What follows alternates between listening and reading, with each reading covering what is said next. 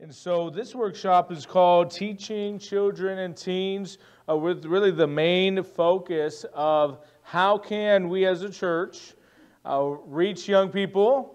And now, one of the things that I have found is oftentimes we talk about reaching young people, but if we get them in the doors, we have to know what to do when they're here, right? And one thing I've learned is not every church is either equipped to deal with a group of young people or even really know how.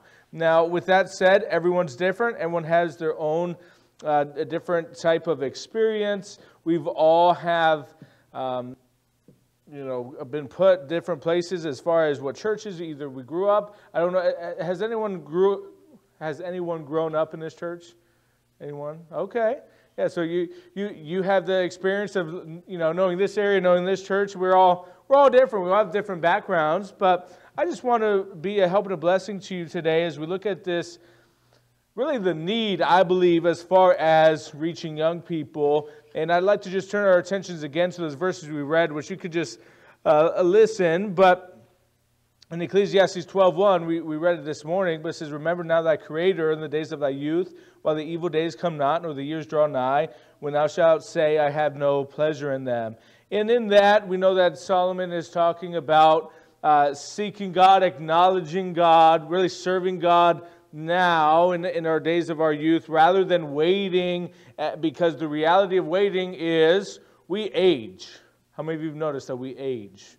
All right, aging process is, is a real thing, right? It is real. And so the emphasis that even Solomon has was start now, right? Like we talked about our, a lot of our youth evangelism, evangelism emphasis, whew, talking about tongue twisted, um, is to encourage them to start now. But we have to really know uh, just some things as far as reaching them. What does it look like? What are some things we should know? What are some things that when we're actually going to put the boots on the ground, and start to teach and train young people, what does that look like? So I have some helpful things here. Now, I do apologize for some reason.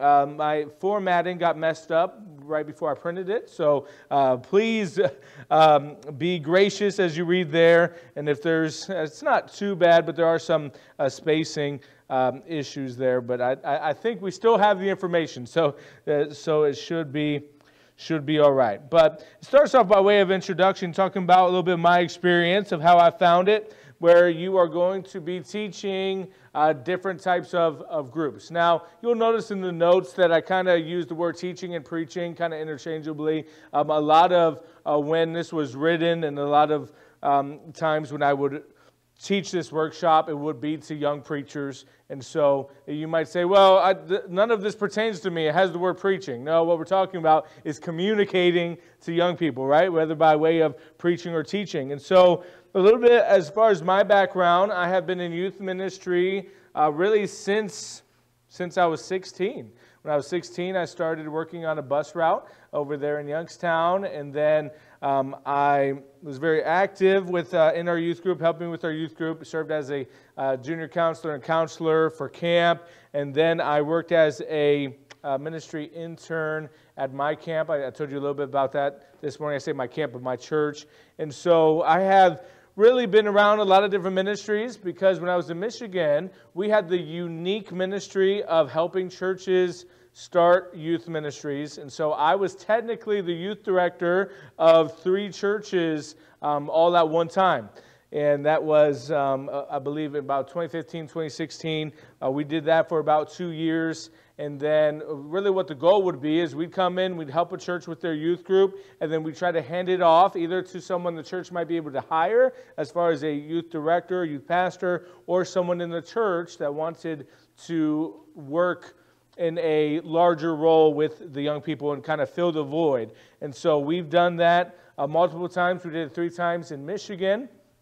And then we've done it about, I think, two times since we've been back in the area. One, one church in Pennsylvania we worked with uh, started a youth group really from the ground. We started with zero, uh, but uh, praise the Lord, we were able to uh, see the Lord bring us people, and we uh, handed that over when they did hire a youth pastor. And um, the, just a couple weeks ago, they had about 18 teenagers. So we, we praise the Lord for that.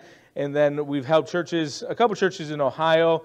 uh, as well, start some, some youth groups and, and bring some young people in. And so I just say that to say, um, and I'm not trying to puff myself up this morning or this afternoon, evening, whatever it is, right? Sun's still out, I guess. But, uh, you know, we talked about pride this morning, so that's not something I'm trying to do. But I would like you to know that I, I believe the Lord has given me some experience where I've seen some things, been around some things. And the reality is that there's a lot of different types of people, whether it be age group or whether it be the area, area that you're in. So, it says here in our notes, I want to help you in understanding these groups that we can be most effective and can um, as that we can be most effective in that setting. So, when you look at the life of Christ, the way that he preached, and how true is this? The way that he preached with different groups of people, uh, he, the parables he used, the way he communicated, the way that he taught, he was always aware of his group of people. Isn't that amazing? Uh, sometimes we don't always catch that because there's a lot of times, if you're like me, you read quickly and you don't always grasp. That's why when I study, I have to go go over. you go over it. To make sure I didn't read read too quickly. But Jesus definitely had had this ability in his ministry where he was he would acknowledge the type of crowd he was talking to. And so I want us to look over these groups and hopefully give us some insight today. Which the first group is children. Now, you see letter A there, and you might giggle. It is very true, but it's harder to keep the attention of children than any other group of people you ever preach to or teach to, right? It is hard. How many of you have ever had that experience, either teaching or preaching young people, okay, uh, or to children? Yes, their attention span is uh, very short, right? And you have to keep keep their attention, and that's why uh, a lot of times. And now, just just so everyone's aware, me and your pastor didn't like have a powwow and he said here's the people that can do this and here's the people that i have i have no idea. And one of the the reasons we're doing this just as a help and encouragement. It's not that um, uh, i think everyone's doing a horrible job at whatever right? It's just the the reality of children's ministry is not everyone is able to keep the attention of a child right? Not everyone even knows how. Now, I, I, believe we can work at it and learn some principles to do it, but the, really the first step is to acknowledge that children do have um, that, that difficulty with attention and that they are the most difficult group when it comes to that. And I think one of the helpful things with realizing that is to not get angry or upset with them. Now, I'm not saying let them hang from the chandelier and like, well, their attention span. Obviously, you don't want them to do that. But how often can you not get frustrated when they keep looking the other way or they keep fiddling with something or maybe they'll keep whispering? Uh, just be gracious and merciful and, and realize that's their attention span. It's just going to be something you're going to have to work through. And so there are times where you have to do um, object lessons to keep their attention. There are times where you have to, to uh, repeat yourself, right? And so even letter B, it says, you must become a great storyteller or you'll be tied up and beaten before you know what happened, right? And so really what that means is if you are trying to communicate a story, uh, uh communicate your lesson to a child, um, you have to keep their, do your best to keep their attention. Now, I've seen it to where I've seen people teach children. I've, I've seen people uh, teach adults too, where they didn't necessarily care if they were keeping your attention because uh, sometimes the thought is, well, if you don't pay attention, that's on you, right? That, that's on you. That's your fault. You should be doing what's right and, and paying attention. Well, with children, just doesn't work that way, right? And so there are times where whatever lesson it is or whatever curriculum you're using, whatever the message you're trying to relay, sometimes you have to put it more in a story form or put it in a way where you'll realize, like, hey, I could get their attention. One things that, that preachers use, which um, I, I don't think I've ever heard you preach, brother. I know I've heard uh, bits and snippets here and there because I, I, follow your church and live stream and things. But as far as illustrations, there's some pastors that use a lot of them, some of them that don't use many. Where, where would you fall? Uh, I'm towards the lighter end. Lighter end, okay. Uh, but if you're going to use it, it's usually because you're trying to get them to picture something, visualize something, relate with something. Children appreciate that as well right? Where you're trying to say, well, you know what? This is what I'm trying to communicate. So maybe if I tell them a story, or maybe it's even something that happened in your life, or there is a, a story that kind of uh, hints towards that direction, it could be it could be helpful. And you definitely don't want to end up tied up and you know beaten up by, by, by, the children. Um, then letter C. Uh, now th- this is I say you should, but um, a lot of the notes here are kind of compiled by uh, multiple different workshops we've had, and I've kind of put it all in this category. So I know it says you should, but a lot of it is more so just a suggestion. So I, I don't want you to leave and say, he said I should do this, but I can't do this. Or yeah, it's just a suggestion or just something at least to keep in the back of your mind. But says you should move around a lot, so they have to guess what you are going to do next. And it really is a helpful tool, something that really no one really necessarily told me to do. I guess the more you do something, you kind of catch on. But especially, let's say I'm, I'm teaching you guys a lesson, and I love the fact there's candy here.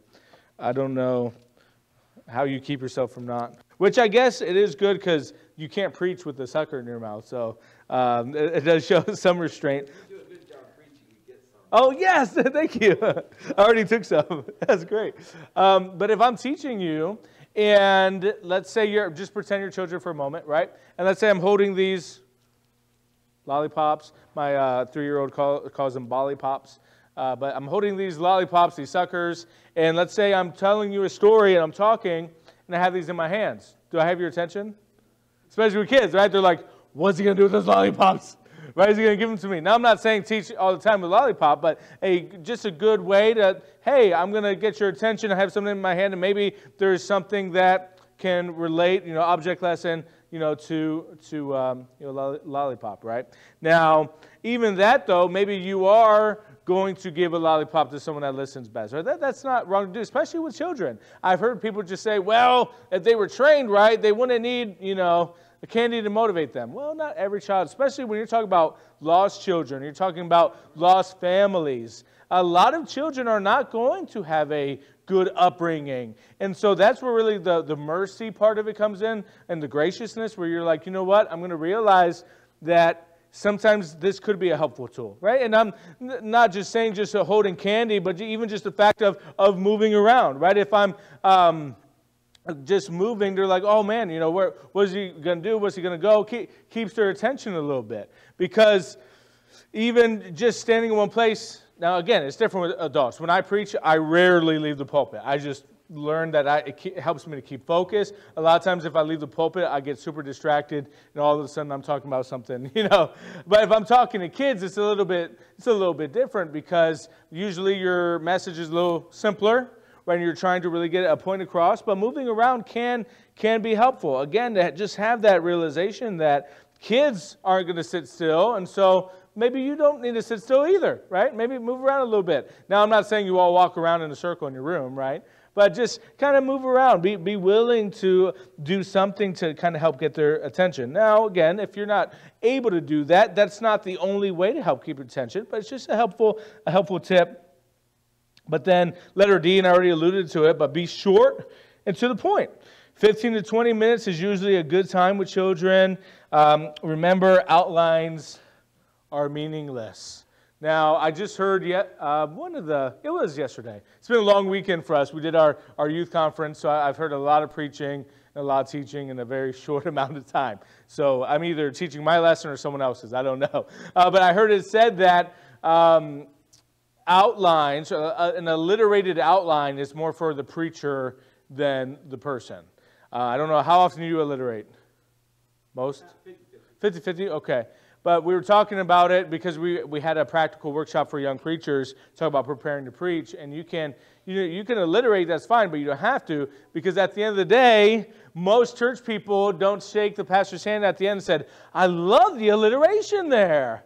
Wow, I love the use of the, the A's or the R's or the. Not everyone's going to pay attention to that, right? So it's not really for the person that's helped to organize their mind and stuff like that. And so when you're teaching children, you don't have to have a three point outline, alliterated, you know, um, all of these fancy things in your outline. Outline really with children, it's meaningless. You, you, you want your one point, of what you're te- teaching them, and get it across. Now, again, depends on what the curriculum you're using and everything. I'm not saying don't use curriculum, but we need to realize what we're trying to teach the child and do our best to teach it, right? Because if we worry so much, we're like, well, the book says it like this. I, I'm one of the worst out of teaching out of a book because I have to scan it, pick out what we're trying, what, what we're trying to say, what are the important verses here, and so I usually just focus on that. But when I go, like, just even the way we're doing now, we're going letter A, B, C, D. That's going to be hard to really go through with a child. And here's something I hear a lot. Well, they're in school every day. They should be able to do, you know, this or that. Well, first of all, especially if you're going to have a child in, on a Sunday, uh, they're just wired different on a Sunday morning. They just are. Because they just had Saturday yesterday, right? Uh, and so they're already out of whack with their calendar. Sunday's their last day before school. So you might say, well, they sit in school, they should act this way. You know, they, they should be used to it. Well, that's just not the case and especially they're not going to treat church like, like school. And I'm not saying not to have structure and not to have rules, but to realize that they're going to learn a little bit differently on a Sunday morning. Because let's be honest, and really a lot of it's depending on whenever you do something with children and with teens. But let's be honest, we're not always our sharpest on Sunday morning, are we? No, Sunday mornings sometimes are hard, especially for a preacher or pastor. I mean, sometimes if, if we wake up sleepy and in a fog, we can't just sleep in. we still got to go, right? We, we still have to uh, try, try our best. And so even preachers deal with that. Our children are definitely going to uh, deal with that as well. So be short, to the point. Don't you like when the pastor does that with you as an adult? Sure, you do, right? And, but especially with a child, you have to, like, I sometimes have the style, that I did it a little bit this morning, but when I'm preaching, and let's understand, preaching and teaching are a little bit different. I believe preaching should have a little bit of both in it. But when you're, you're teaching, you're, again, what's the message? Get it, you know, get it across. Now, there's a lot of times when I preach, uh, someone uh, told me it's kind of like a, like a sniper where I, I, get I lay out the land, I, I, I, find the target, and you know, I do all the prep, and, and in the message, we're getting to that target, and then all of a sudden I shoot, right? And so a lot of times, most of the message is towards, towards the end. Doesn't really work with a child, does it? Yeah, they, they want the message if you're laying out this big elaborate way of getting to the ending, uh, you already lost them, right? So uh, that, that's part of the point of keeping it short, is simple, to the point. Letter E, if you can have any visuals and props, would be better for you in your preaching, teaching effectiveness. Again, don't mind my, my use of preaching. We're, we're talking about teaching this morning, and um, that's, again, I use it interchangeably. But how, how often do you and I, as adults, and even teenagers in the room, young adults, how often do we appreciate visuals? Yeah, sometimes it changes changes the game, right? Uh, which I guess I should have brought a visual to really keep your guys' attention, right?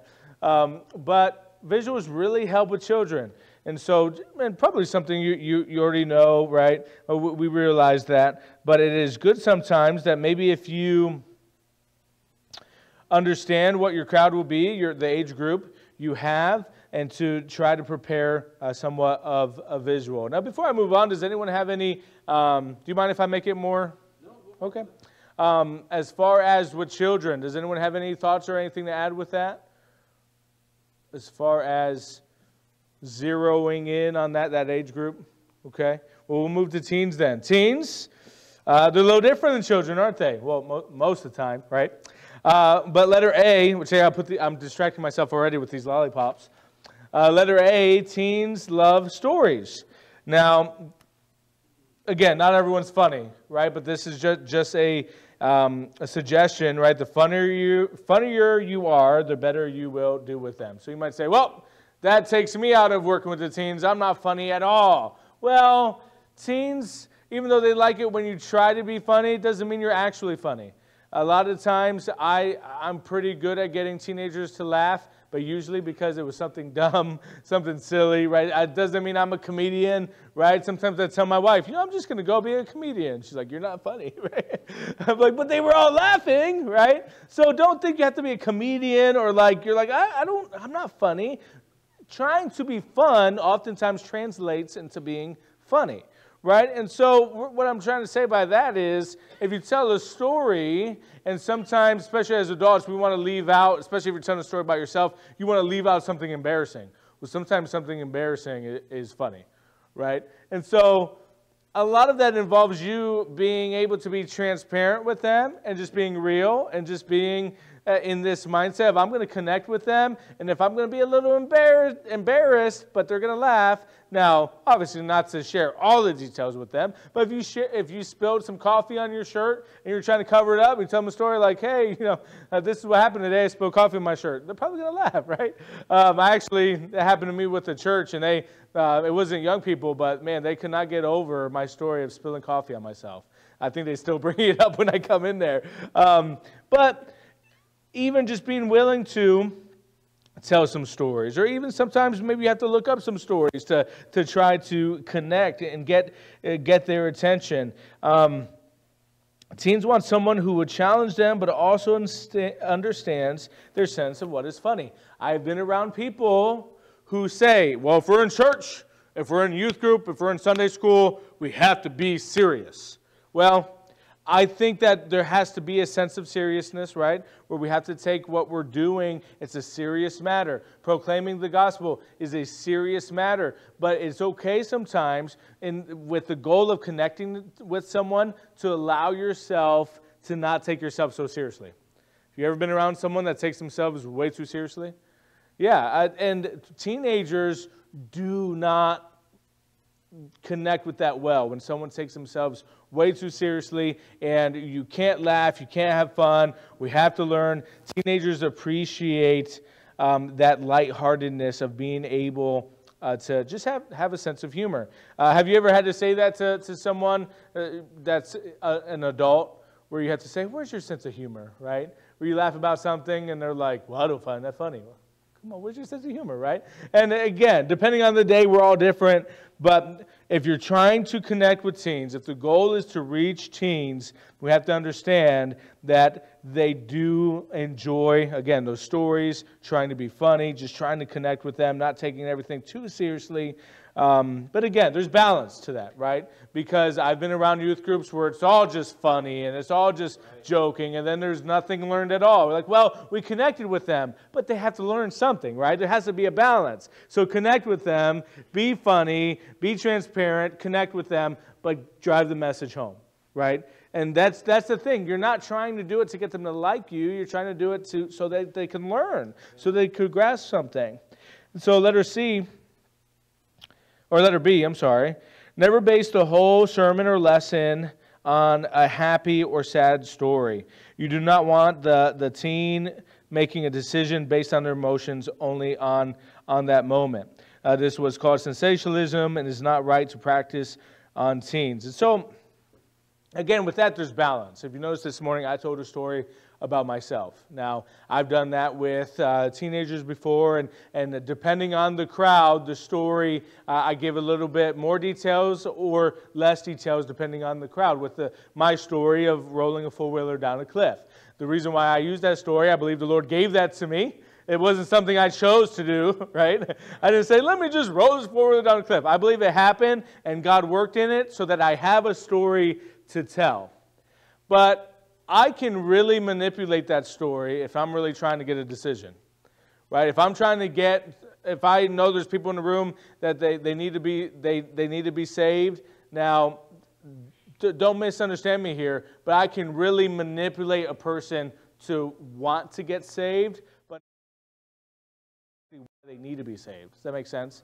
Like, man, you could scare somebody and like, okay, I'll, I'll get saved. I'll do whatever you tell me to do, right? No, you don't want to necessarily scare someone. You don't want to necessarily, if you're saying, you know what, I'm going to tell this really happy story so everyone feels happy afterwards. Well, that's, that's not the goal. Same thing with the, the sad. And I've been in a place before where they told a, a pretty emotional story. Then at the end, they laid a rope at the, the altar and said, All right, if you're, you know, if you truly love this or that, you'll cross this line. And man, every teenager was getting up and across the line. They're crying and, and they're weeping. And listen, I think maybe there was some positive things that happened after that, but I just know in my youth group, they came back to me crying and weeping. They crossed the line, and I asked them later, okay, so what did you learn? And they're like, I don't know. I just felt like I should cross the line.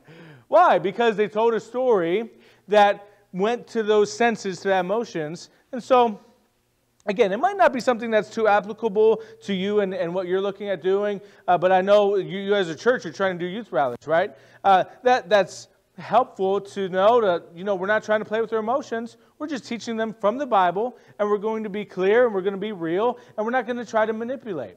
I don't know about you, but I, I've been in situations where people have tried to manipulate me before right? Try to work on my emotions and, and, and make me do something. And the thing is, if you make people, especially at that youth rally, which I understand, you guys, how long have you guys been doing youth rallies like that? Uh, about three years. Okay, I know you guys take turns and everything, right?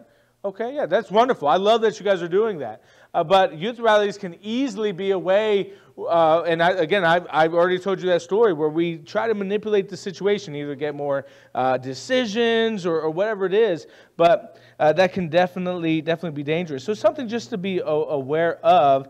And the last part of that says these kinds of decisions that are made in those moments do not usually last very long.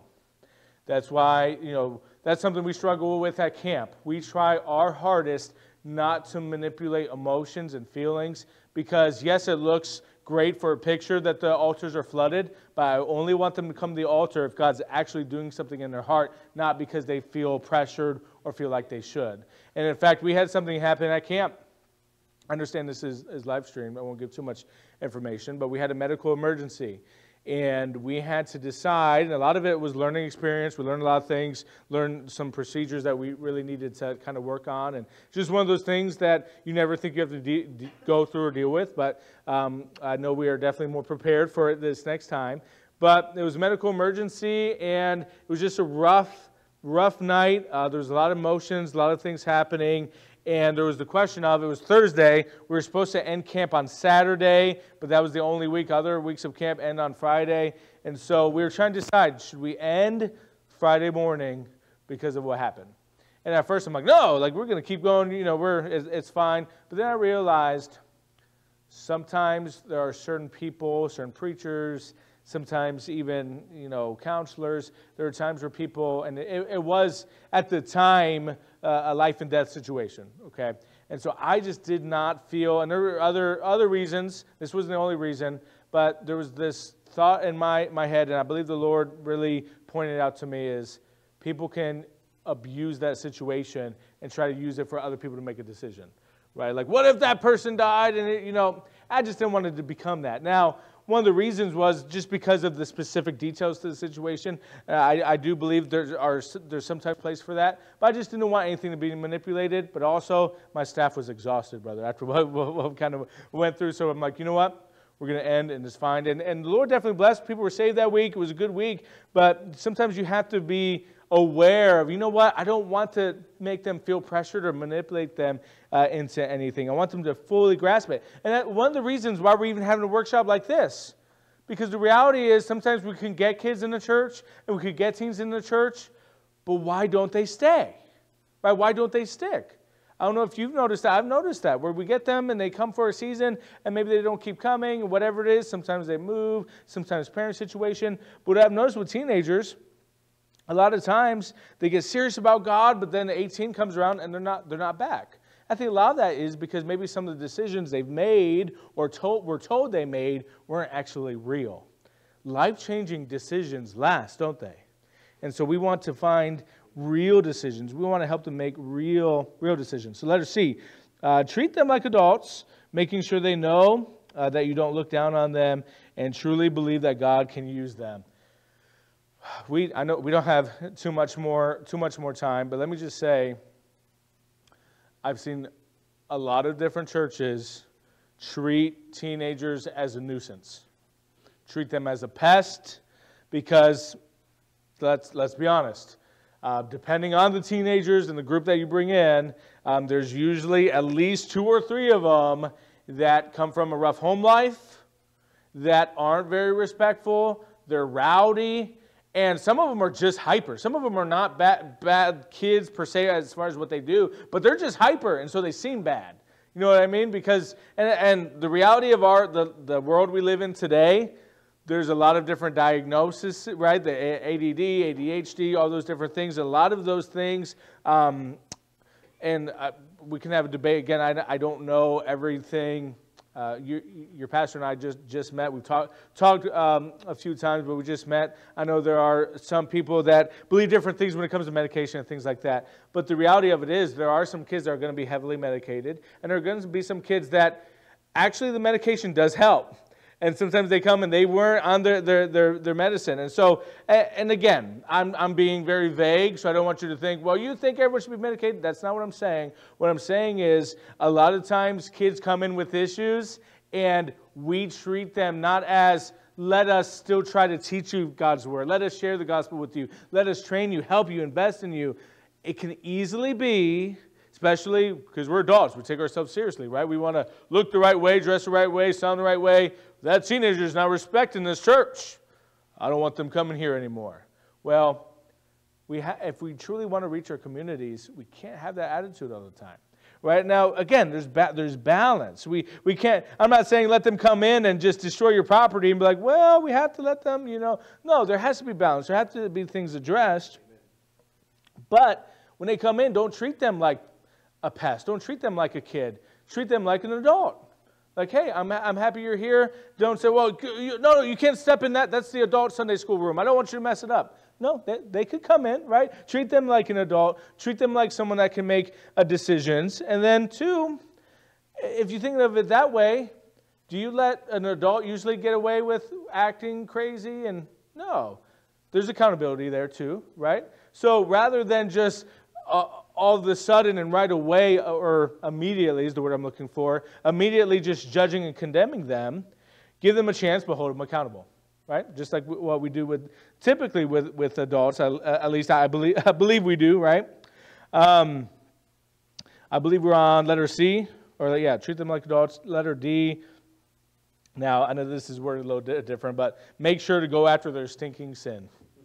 Uh, make, make sure that you're not trying too hard to be their friend, not trying too hard to be, uh, be uh, funny, but realize that they, first of all, they need to be saved. They need to realize they're sinners, right? Uh, teenagers don't always like that, right? But we don't always like that when someone calls us a sinner, but you, the sin has to be addressed. And especially, uh, we're talking about all, all those, those, those teens that come in, they have issues, they have problems sin has to be addressed, right? Yeah, there's some things that they're, they're dabbling in and show them from the Word of God what tells them about their sin, right? And isn't it amazing, though? We have a God that the, the Bible says that all we have to do is confess our sin and He's faithful and just to for, forgive us. And uh, so I'm not saying like, you guys are wicked and horrible and, you know, well, no, like, hey, here's your sin issue. Here's something I notice you're doing, I notice you're in, but here's what the Bible says about it. But there's forgiveness, right? But don't let them slide like, well, I want them to like me. I'm not going to preach about this sin. Or re- one of the realities is we do have uh, the reality of the whole gender gender issue. Um, you know, uh, there are going to be young people, like it or not, they're going to come in and they're struggling with that. They're going to come, uh, come in and they say that these are my pronouns, right? What do we do? Oh, they can't come. No, sure they can come right? Because they need to learn and need, need to teach them. And listen, if they don't, if they, they say, well, I strongly disagree, my family doesn't teach us it, then maybe there could be another church that can, can help them, but we have to at least try, right? If the Lord brings them, uh, brings them through, through our doors, but we have to show them through the Bible what the Bible says. And let's be honest, and again, I'm not saying to let, let people go on things, but let's be honest, there are some churches that, uh, there are affirming churches, meaning we're not going to point out your sin. Whatever you do, we're going to affirm it. You're, you're fine. We're not going to teach that. But then when someone does come in and they have those sins, you still have to say what the Bible says about it. But there is, and I, I've had this happen to me before. Well, I don't want to mention this because I know they're okay with it and I don't want to offend them. No, we, we, we, have, to, we have to go after the sin, right? Or we have to address the sin. That way they can find some, find some help. But we have to uh, again, the way it's kind of worded, uh, we have to do it in a loving way, right? The emphasis is just the fact that, like, man, they can find some help if they get rid of that, that sin they're struggling with, right? But kind of moving on, and about nine more minutes. Is that is that all right? Or are we already past? Okay, okay. Um, teaching young people. So we've gone to the already looking at the type of groups and what's helpful with them and the kind of tips and tricks with the different age groups as far as children and teen. And th- those are the age groups we're focusing in on because in the introduction, you know, uh, I, I have it to where talking to older people, uh, you know, in nursing homes and different things like that. So we're only honing in on the children and teens today. So when you're actually going to be teaching them, have to realize every child needs to know that you are sincere. That goes a long way with children and teenagers, knowing that you are sincere and that you are, you are real. A young person can spot a fake a mile away. Get your heart right with, or get your heart right so you have a burden for them uh, before you go to class, before you go to church, wherever the young person is going to be that you're going to either teach or help, uh, make sure you're going to be real with them. Don't make it I'm doing this because I was told to. I'm doing this because the pastor asked me to, or the pastor told me to, right? It's because I actually care about them and I'm going to be sincere and real with them. Uh, don't teach to point out their weaknesses. You must uh, teach to strengthen them. Goes back to the stereotypes we put on the teens, where sometimes we can just get to the point where we're really hard on them pointing out all, all the horrible, wicked things teenagers do, all the horrible, wicked things children do. Well, it's not just about pointing out the bad things they do, but it's about strengthening them and helping them, right? Because I've heard some people rant about teens, and man, the things people can say, right? Now, saying, I, I think we should watch what we say, right? It shows where our heart is, but especially if you're going to say that to teens, are you going to reach them? You guys are always on your phone. You guys are never respectful. You guys are always late. You guys are. What's that doing, right? Uh, and uh, uh you could do some of that to be uh, funny, right? But, but if it's in the right kind of, um, if it's in the right heart and right attitude, but just showing them their weaknesses, they need to know how they can be strengthened and helped. A child or a teen already feels inadequate. That's really important to know, especially talking about, we, we gave some of the, the statistics this morning. Most people come from a broken home. Most kids don't have a father figure in their home or a father figure at all. They already feel like no one loves them. A lot of them are already going to feel like there's no place for them in this world. And if they come here and feel unwelcomed, what other choice do they have in life? Well, who else is going to help them? So never make them feel inadequate by just pointing out their problems and their issues. No, point out the fact that you love them, you're happy they're here, and how can they find help and strength today, right? And so they're, they're already dealing with feeling that way. Children and teens know when you are stuck preaching or teaching to the class, the club, the chapel, whatever. Have you ever got that call on a, maybe a Saturday night, hey, I need you to fill in teaching. Or, hey, I need you to do this. Or maybe it's a week before, so and so is going to be out of town. Can you teach this class? Sometimes that will happen. And so when Sunday morning rolls around, just say, well, I wanted to hear the guest speaker today, but I'm stuck with you guys. Your teacher's sick. I was the only other one. Let's get through this. You're not going to accomplish anything. You might as well have just said no and not had class that day, right? Because if you make them feel like you're that you're stuck with them, um, you've already lost them. Okay, and I think we've all been in a situation before where you felt like someone was just stuck with you. How did you feel about that? Right? You you didn't feel like they actually cared. And usually, if you feel that you're stuck with a class or stuck with a group, you should probably get the heartbeat on how much you care right? Because we, we shouldn't feel like we're stuck with them. We should feel we have an opportunity uh, to help. Now, let the group you are preaching or teaching to burden your heart before you teach. Um, it says here, I like to um, sit down, analyze the people, kind of look at them. Now, this, this is more an aspect of uh, guest preaching somewhere, right, where it's helpful for a preacher, uh, kind of look at the crowd, kind of get an idea of who he's teaching, preaching to. But with you, um, it might be more applicable as far as the junior church or Sunday school. Uh, picture, picture the kids before you teach. Or maybe while you're stuttering, or stuttering, studying, while you're studying, picture their faces. Try to uh, realize, like, man, so and so, I, I, I know they're dealing with this. I know they're dealing with that. Make it, make it real to them. Make it to where you are burdened and heartbroken and want to help them. And so it says, by, by once you do that, uh, by the time I teach them, I already love them and care. Right? So love them and care before you teach. Right? And because let's be honest, especially when you get new kids and you teach them, like, oh, I don't think I like that kid, right? Like, no. Try to try to realize the fact that, hey, I, am going to try to connect with them even before I start teaching and care before I start teaching them. Now, again, every situation is different. You might not always get that opportunity, but I think if that's in the back of our minds, I think it could really be a help to us uh, when we teach. Uh, number four, uh, never never teach while under the uh, influence. Now, that's not necessarily talking about drugs, alcohol. Really, what that is talking about is the attitude. Um, there are, are times, and it says there, one, one kid in a rotten attitude can change your demeanor, attitude, or even your message. I, preacher, I don't know. I'm, I'm, I'm sure I, I know at least once, but I'm sure there's times where you get up here, someone just said something to you right before service. That never happens, right? Someone said something right before service, or you had a conversation Saturday and you got to get up here and you have to try to decide am I going to preach exactly what God wants me to, or can I rant about someone? But in a pseudo way where they don't know, right? Like, people shouldn't be doing this. And you're talking about what they just did to you, right? We shouldn't have this attitude. And you're talking about someone's attitude, right? And there are times where you walk in, maybe a kid kicks you in the shin. Or maybe a teen says something rude to you. And all of a sudden, we're going to talk about manners today, right? You're under the influence now. Your demeanor change, your attitude change, because we have to realize that it is a tough task te- te- te- teaching and training teens, and it is tough to always keep our composure. But man, as soon as you're mad with that group, maybe you should just have a, a, a time where you uh, share some prayers and maybe spend some time praying or get, spend some more time getting to know them to, so that you're not teaching a message in a way where you're frustrated, disgusted, mad. Nothing's good is going to come out of that.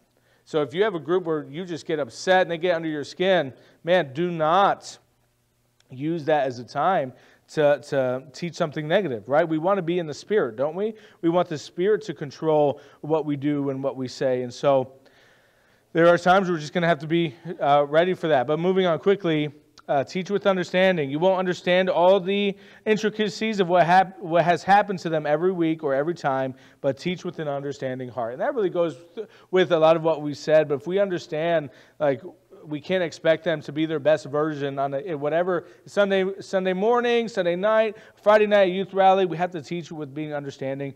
Ne- never judge or prejudge a teenager or a group of teenagers. You know, we already kind of hit on that. Um, and then kind of the, the next few, and we'll, we'll kind of, for sake of time, kind of uh, walk through this. Um, but there's times where there's a mix between children and teens. It's best to focus on the teens and not um, forget about the children. Uh, so t- that's some of the times you can put in the whole visual aspect of it to keep the children uh, involved. Always make the message easy enough for both groups.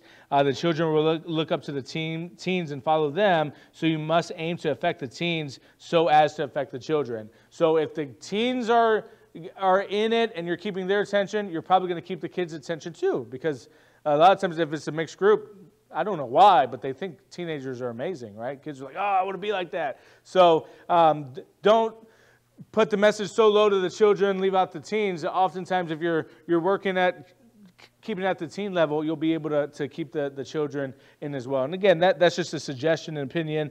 Um, do with that as you would. Um, and then dealing with teens and adults together, that's something you can uh, uh, read uh, some other time, but it is helpful to, to try to have to uh, deal with that. You might not ever have to do that.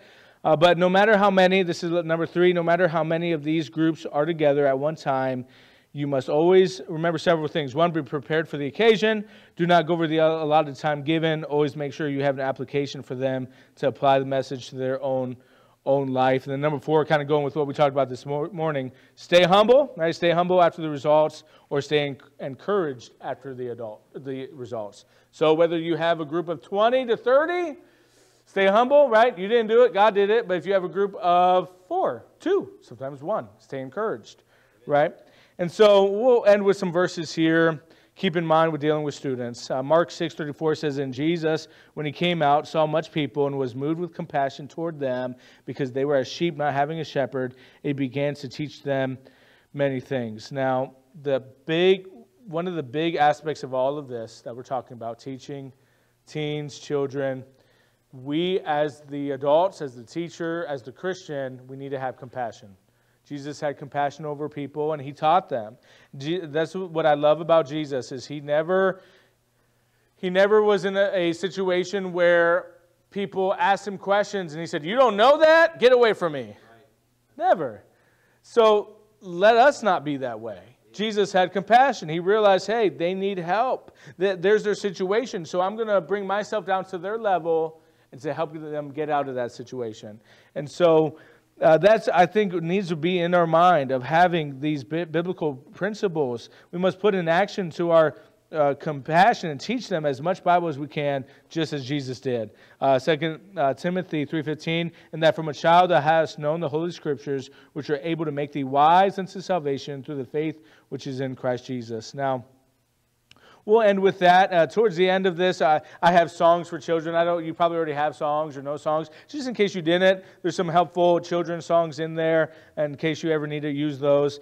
But we just need to remember our goal is to teach all children the biblical principles right out of the Bible that are behind the uh, behind any rules that we have, any rules that we have, all of this. And some of this comes from our camp our camp manual. So now we're kind of talking about campers, but whether it comes from clothing or what, whatever it is, we have to realize that everything we teach them needs to come from the Bible. Because if we start teaching them things not from the Bible, they're going to start to, it will start to affect their view on God, on church. And so, isn't it a waste of time if you and I try to teach people things that aren't in the Bible? What are, what are we? We're a church, right?